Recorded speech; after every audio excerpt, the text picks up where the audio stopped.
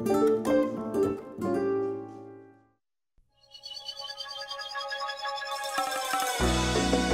pulled in all directions at once by kids, work, and aging parents.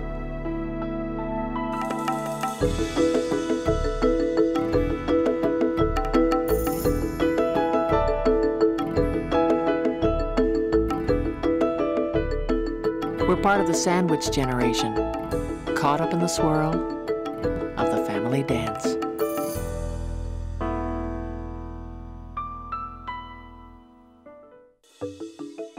On this family dance, Itia Golan takes her mother, a Holocaust survivor, back to her home village in the Czech Republic.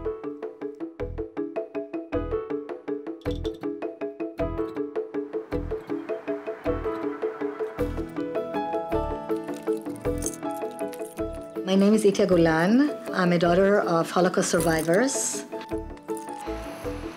And I'm in the middle of planning to take my mother, after 65 years, uh, back to the Czech Republic.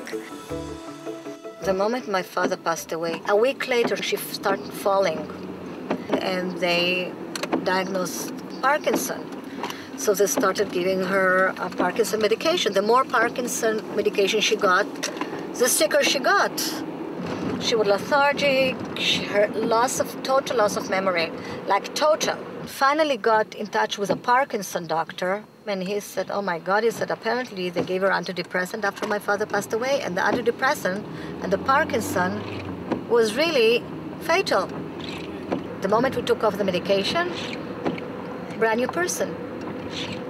That's why the whole idea of the trip was not even relevant." And this is something that she always wanted to do. As long as I'm very careful, I'll take a wheelchair, I'll take the antibiotic for bladder infections, all the things that need to be, you know, taken care of. And we'll do it very slowly. Um, we'll, we'll, we'll realize a dream. She left when she was 15. Her village, Uherský Brod, she fled from the Holocaust. So this Already? is Mrs. Golan, Correct. right? And I'm sorry again, what? Viola. Viola. Viola Landman. My name is Mirjana, Mirjana Seebeck, okay? And I'm the Czech Tourist Authority, and I hope I can help you with your trip. After 60 years, isn't it something? Isn't yeah, and yeah. your daughter is doing this all for you? A little bit for me too. I need to know. I need to know. I always want to go back. It was my dream, but my mm-hmm. husband didn't want to go mm-hmm. because all Or circumstances. same, uh, what, what was Was happening and Yeah, what yeah. happened, yes. Yeah. Isn't that Nobody beautiful? wanted to go back, but I Isn't thought that, she I wanted. understand, I understand, but past is past, right? Absolutely. We have to look into the future. Well, I think the past is the past, but still, I don't think we can move forward mm-hmm. It's re- without really understanding. For me, it was really when they always said the father didn't want to go. I kind of, I wanted to know because it's very important for me, for my kids to know where we're from. Uh, you have never been? No, Never. no, because that if will they be your didn't, first I, yeah, yeah, yeah. So this is the second most visited place in Uh-huh, the Czech Republic. And if I may, just to get you started, uh, I did prepare just to for you something to Oh. get you going.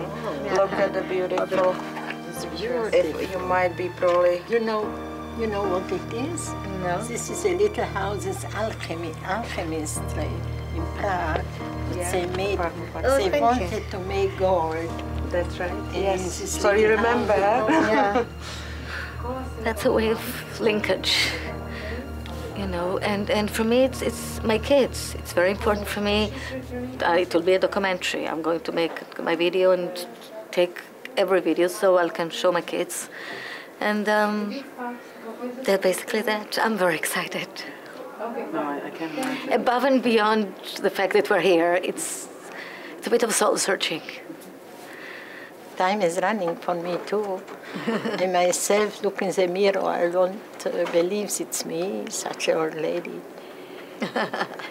but it is a fact.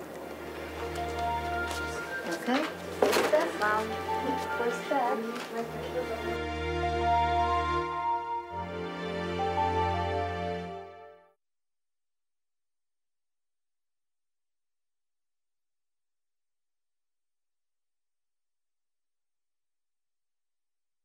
I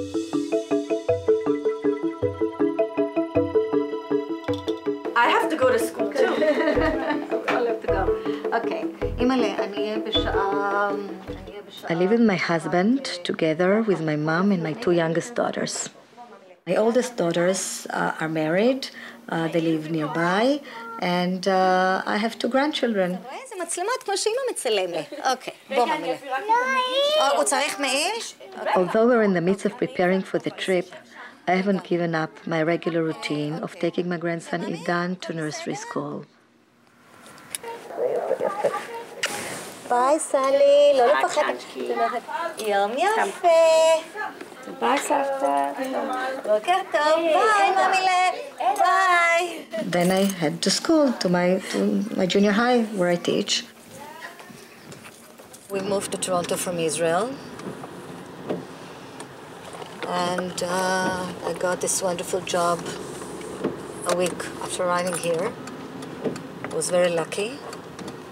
It is truly a Canadian dream come true. Here is a school where you have so many kids from so many countries, and it's wonderful.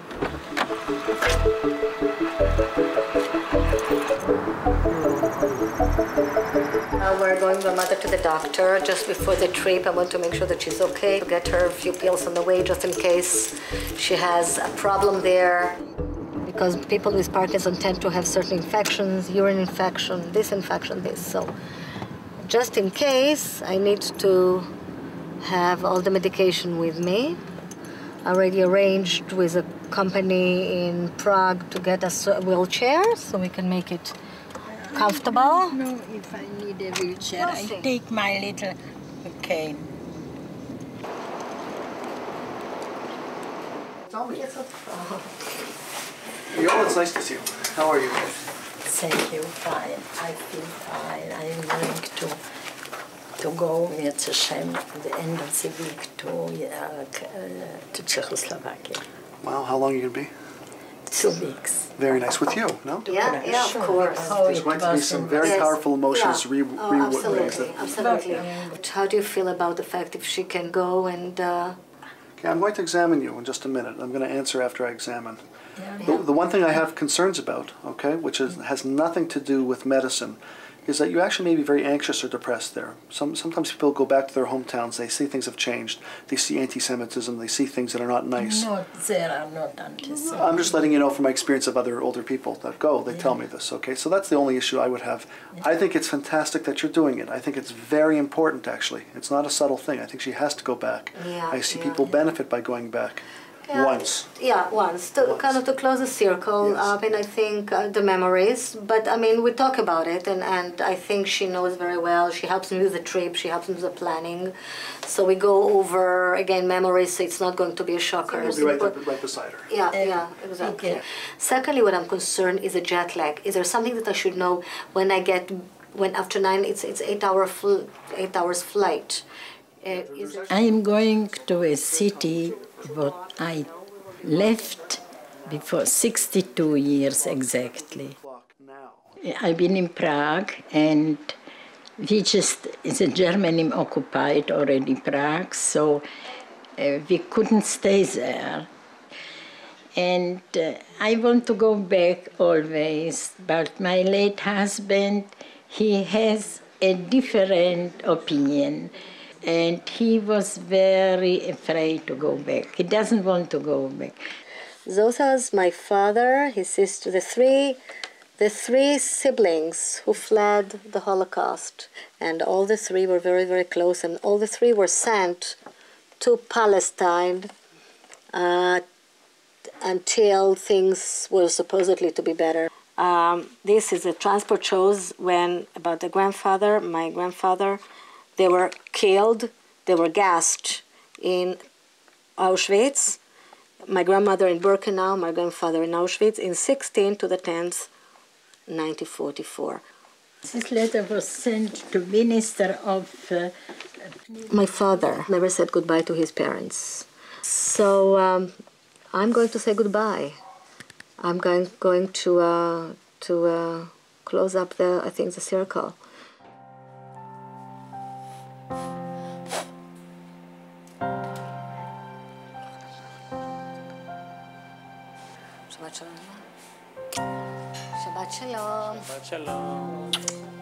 Shabbat shalom. My kids and my grandchildren, they don't have a clue. They know that we come from Holocaust survivors, but they don't have a clue of where the family has gone, what kind of wonderful family we had. And for me, it's very important for them to know, uh, for, literally for posterity, for my grandchildren. Every day. When they wake up.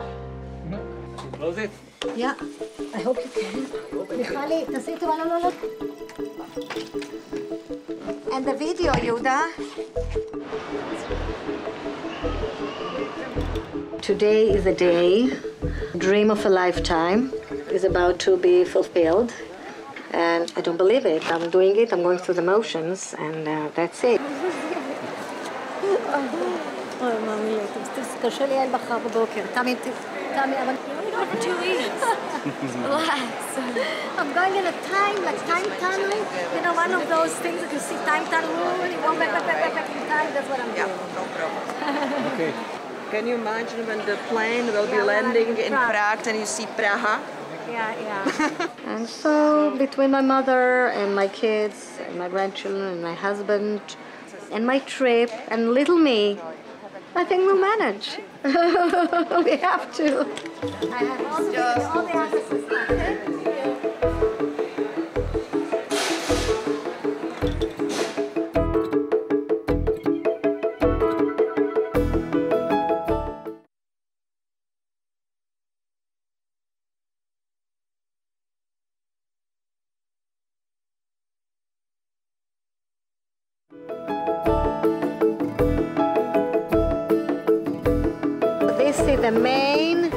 street in Prague, and we arrived this morning. That is a theater, the State Theater, where we're going to watch Don Giovanni. And we're in the most wonderful spot in a box. Mom, how do you feel about being here? Very excited, really excited. I feel like like I would be at home, maybe because of language. I don't know. It's actually the only language what I speak very well and nice. I get lots of compliments because not English and not Hebrew and not German I know so well like Czech. And you can feel the language makes you close up to something. We're on our way to Hodonin. We're having breakfast. That's about the train station that my father said goodbye to his parents. My father always told me, don't go. Nothing there, nothing there, nothing there. And when we went to Hodonin, here this train station, extremely dilapidated, eerie, strange. Hodonin. This is the main street of Hodonin. Uh, probably my father, my family stood there at one point. Very strange. I need to breathe deep to really understand. To really understand what's going on here. We are going with Pane Hinek, Mr. Hinek, who is a specialist in history and he's going to take us around to see the, what used to be the Jewish quarter. Uh, today it's a regular apartment building.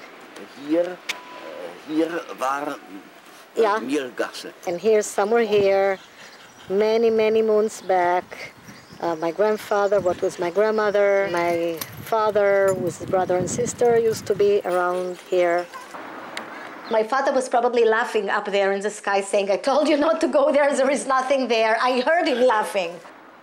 They destroyed everything, which is it was horrible. But one thing we know, we cannot, we cannot destroy memory, we cannot destroy heritage. Those things that if we don't let it happen, it doesn't, it, it doesn't happen. Okay, this is Uherský Brod. How do you feel, Ima, when you see your high school? I feel מצחיקה. Yes, it's uh, funny? It used to be, I be as a child, as such a beautiful street, It's such a wide, wide, wide and big. And now it's nothing, it's just a... The Jewish quarter is, doesn't exist anymore. And this was very sad for me. because the big uh, temple is gone absolutely. And this whole quarter doesn't exist. Even people doesn't know where it was. And it was by 1,800 Jewish families there. So it was a really big Jewish uh, uh, center there. So this is all gone. But I think the moment of truth was when we went to the cemetery and you saw all your friends, the names of all your friends. It was a big uh, marble wall and written all the names from those people who had been sent to Terezin first. So I have seen all those names. I just, this makes me very, very sad. My mother find her friend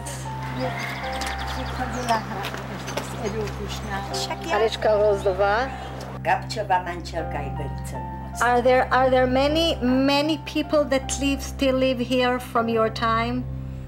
I am very, very sorry, but we're living here. Uh, Rosenfeld, Ada, this is his wife, but she's not from Brod, she's from Stražnice Lidska.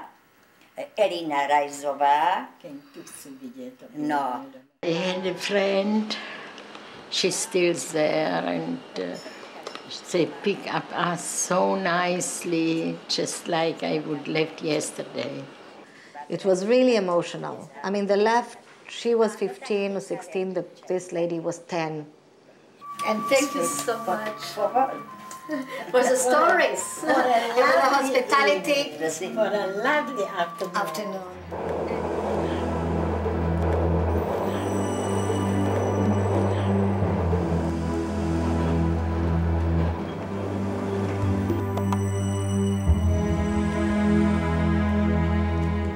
The Jewish cemetery. We've just discovered that my grandparents came in January 1943 to Theresienstadt. That's where they first arrived. That's the main. That's where they first arrived.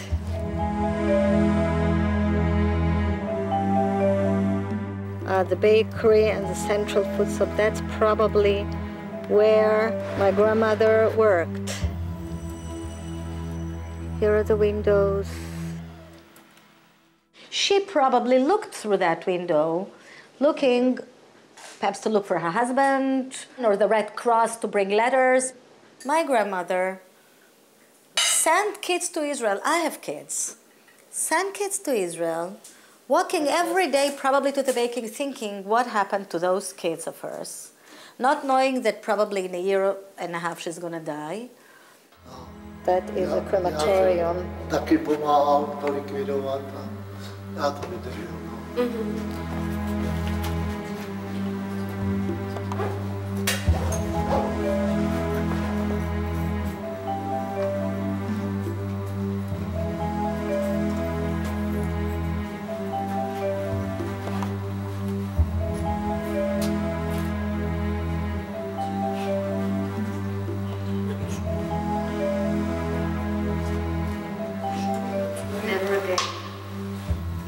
was very emotional during this trip. I was tired and emotional.